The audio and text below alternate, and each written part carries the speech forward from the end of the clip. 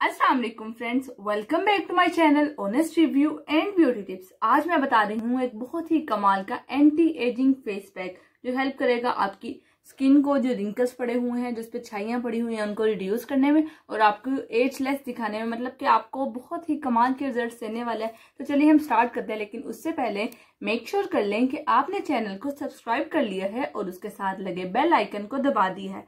बहुत कमाल की रेमेडी है, बहुत कमाल का फेस पैक है। क्या क्या चाहिए? सिर्फ़ सिंपल सी तीन चीज़ें आपको चाहिए। आपको चाहिए ग्रीन टी उसके अलावा आपको चाहिए दही, यानी कि योगर्ट और आपको चाहिए हनी सिंपल सा ये बता दूँ कि ये फेस पैक ड्राई स्किन वालों के लिए, आगे मैं ऑयली स्किन वाले के लिए भी बताने लगी हूँ फेस पैक तो वीडियो को एंड तक देखना है ताकि कोई इशू ना हो।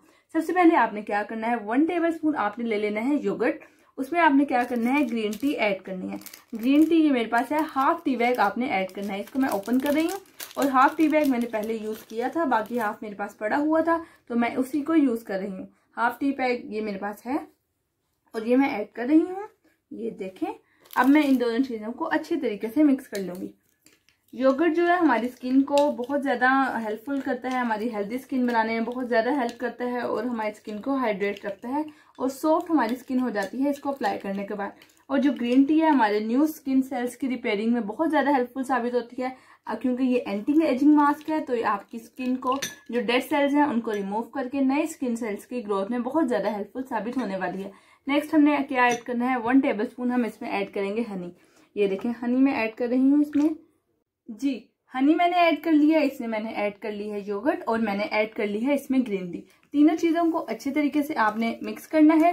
फाइव मिनट्स आपने वेट करना है कि ये अच्छे तरीके से दोनों चीज़ें, तीनों चीज़ें मिक्स हो जाए देन आपने इसको अप्लाई करना है। आपकी स्किन को बहुत ज़्यादा सॉफ्ट बनाएगा हेल्थी बनाएगा और एंटी एजिंग आपका ये मास्क है तो आपकी स्किन की जो एज है उसको रिड्यूस करेगा और बहुत अच्छी जो आपके चेहरे पर फ्रेशनेस है, वो आएगी इसको अप्लाई करने के बाद। याद रहे, ये मास्क है ड्राई स्किन वालों के लिए। अगर आपकी स्किन ऑयली है तो सिर्फ़ इसमें एक चीज़ ऐड कर लें और वो है मुल्तानी मिट्टी। ये देखें, मैं थोड़ी सी अमाउंट में मुल्तानी मिट्टी ले रही हूँ।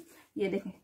थोड़ी सी मैंने मुल्तानी मिट्टी ली। अगर आपके पास पाउडर फॉर्म में है तो बेस्ट है अदरवाइज़ आप इसको ऐसे भी ऐड कर सकते हैं। ये देखिए मैंने ऐड की। अब आपने क्या करना है, इसको मिक्स करना है।